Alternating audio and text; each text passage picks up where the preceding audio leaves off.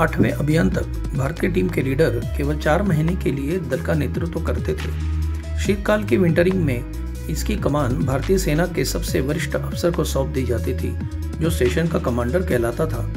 तीसरे अभियान में दक्षिण गंगोत्री स्टेशन के निर्माण के बाद पहली भारतीय विंटर टीम ने यहाँ पूरा एक साल बिताया और भारत की उपस्थिति को इस महाद्वीप में लगातार बनाए रखा। इस पहली विंटरिंग टीम के स्टेशन कमांडर थे lieutenant colonel S S Sharma थे, जिसे इस चुनौती भरे दायित्व को सफलतापूर्वक निभाने पर कीर्ति चक्र से सम्मानित किया गया। वे बाद में मेजर जनरल के पद से निवृत्त हुए। सन उन्नीस में भारतीय भूवैज्ञानिक सर्वेक्षण के श्री रसिक रविंद्र ने एक नई मिसाल कायम की, जब वे नवे अभियान के साथ पूरे 16 महीने रुककर पहले ऐसे वैज्ञानिक बने जो लीडर तथा स्टेशन कमांडर दोनों ही थे। इससे टीम को बेहतर नेतृत्व मिला और वैज्ञानिक एवं अन्य कार्यों को अधिक कुशलता से पूरा किया जा सका। तब से यही परंपरा चली आ रही है कि दल का नेता पूरे 14 से 16 महीने तक अपनी टीम के साथ ही रहता है।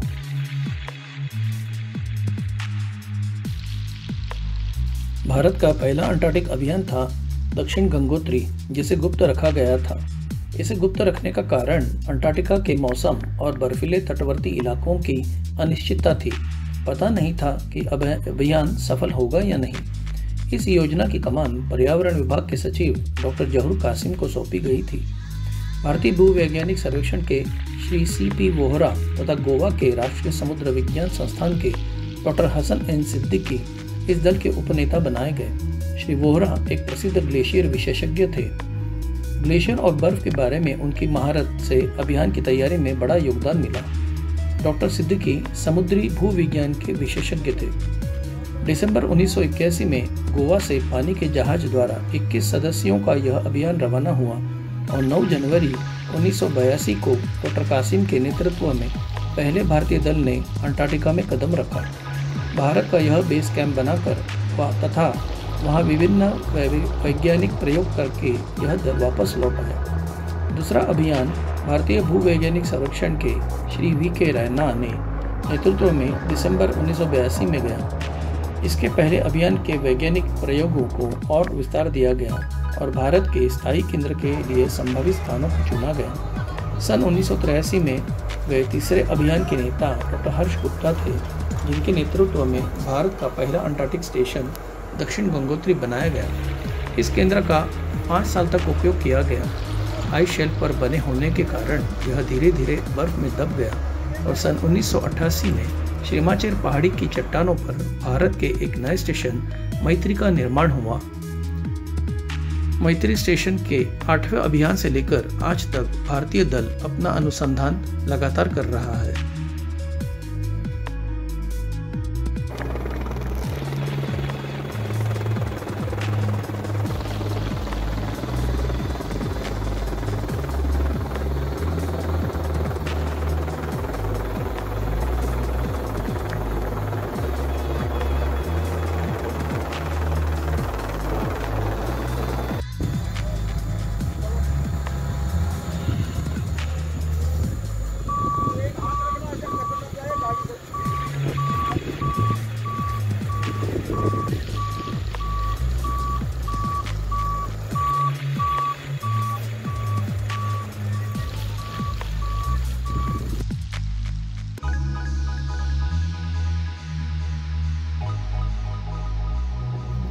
भारतीय स्टेशन जर्मनी के अभियंताओं की देखरेख में कंटेनरों के समूह से बना हुआ यह एक उत्कृष्ट नमूना है। यह सभी अत्याधुनिक सुविधा और नई तकनीक के साथ सज्ज है।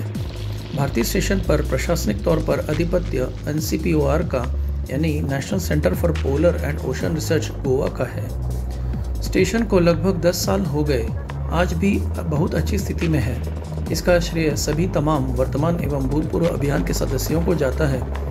जिन्होंने अपने घर जैसे देखभाल की। खाने पीने की तरह तरह की चीज़ें यहाँ मौजूद हैं। किसी चीज़ की कोई कमी नहीं।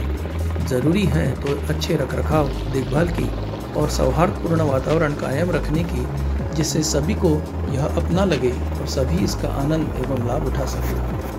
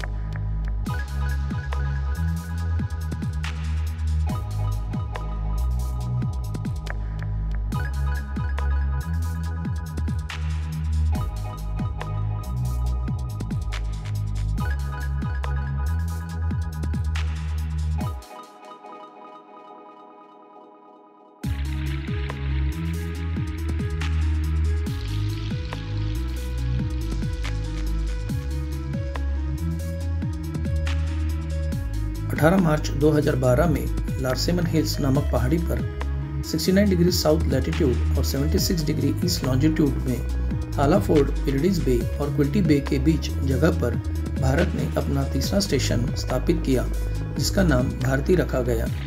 तब से आज तक भारतीय दल की एक इकाई यहाँ पर समर तथा विंटरिंग लगातार कर अपना अनुसंधान कार्य चला रही है। मैत्री और भारती स्टेशन की दूरी लगभग 3000 किलोमीटर है।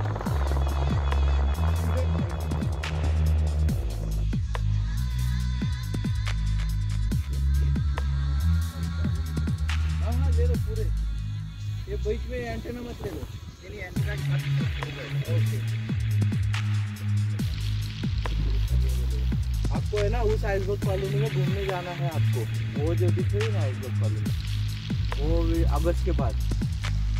वहाँ जाना है आपको।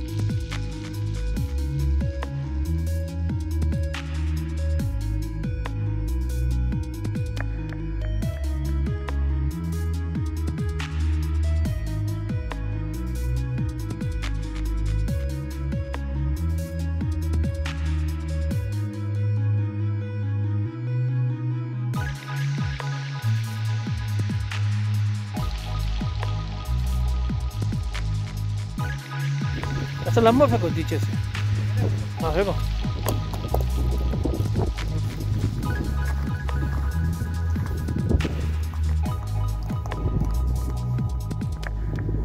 फिसल मत जाना, फिसल मत जाना।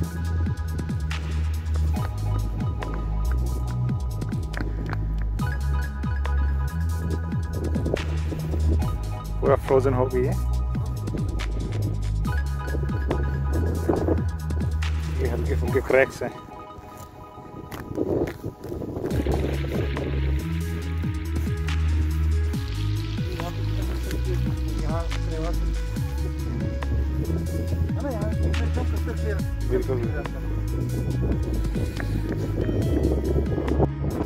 मेरे इस वीडियो में तथा जानकारी श्री अरुण जी की लिखी हुई किताब रोचक और रोमांचक अंटार्कटिका से ली हुई है। अगर यह वीडियो अच्छा लगे तो लाइक कमेंट और शेयर ज़रूर करिएगा। धन्यवाद।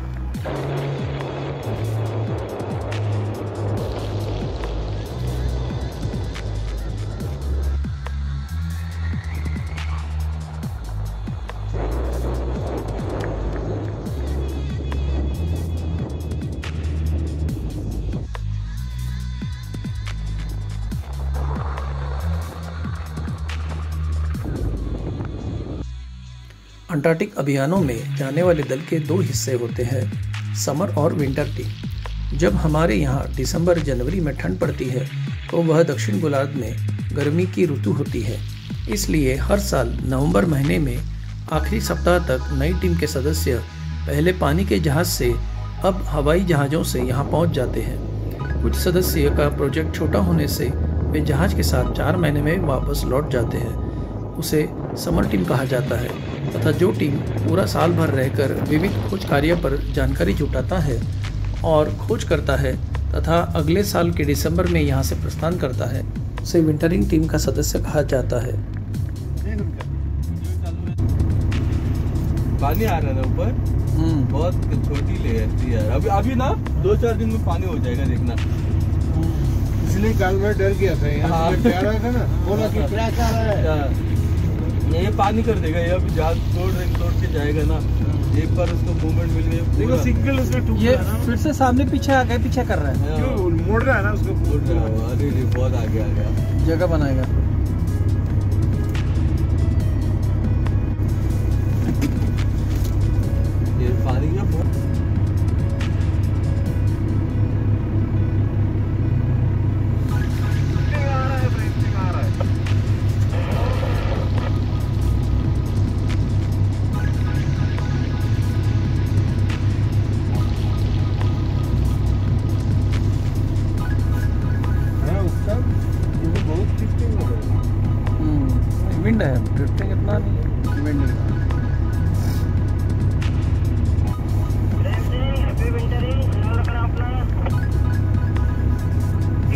वाले मृत्युंजय का भी ख्याल रखिए अपना भी ठीक है सबका।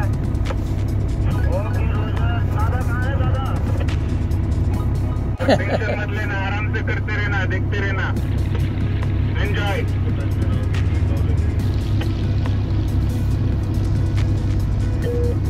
बोलने नहीं देगा। जब ये करेगा बीप करेगा। इंटरनेट आता Ganesh Bhagyavan Ghanshyam Abhijit happy journey thank you thank you happy wintering to you thank you okay आप बिल्कुल बॉर्डर में हो आपको बहुत Rated बहुत one. यात्रा की शुभकामनाएँ नहीं बोलेगा ये रोक रहा है Thank you very much and very happy journey to you. Very happy day to you too. Thank you. Atul साहब एंड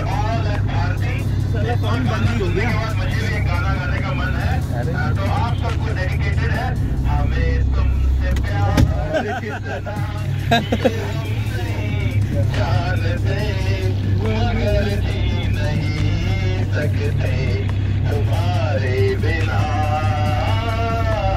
अभी तो जाना है धरती तो छूट गया अभी